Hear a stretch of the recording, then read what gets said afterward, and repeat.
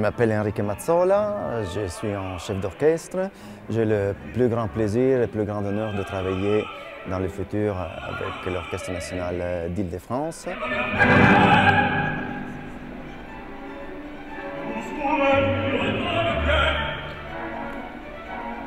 Ah, j'ai commencé à diriger en Italie où j'ai connu presque tous les théâtres euh, d'opéra d'Italie, le San Carlo de Naples, la Scala de Milan, le Théâtre Reggio de Touraine, à Palermo, le Grand Théâtre Massimo.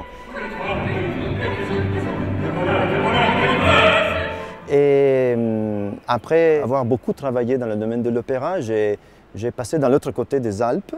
Et là, j'ai commencé une carrière euh, symphonique avec beaucoup d'orchestre, Oslo Philharmonic, London Philharmonic, Japan Philharmonic. Et maintenant, je mélange les deux. Et voilà, maintenant, j'arrive en Ile-de-France.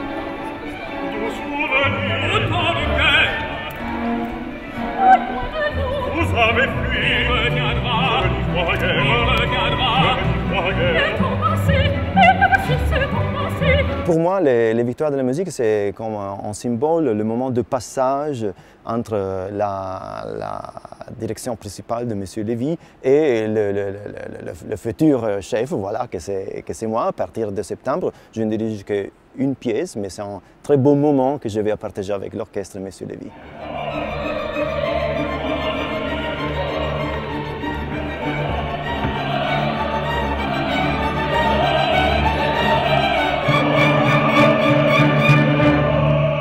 C'est une nouvelle euh, vie. On ne peut pas vraiment diriger un orchestre à distance. Il faut être ici, connaître le public, connaître ce que le public a envie euh, d'écouter.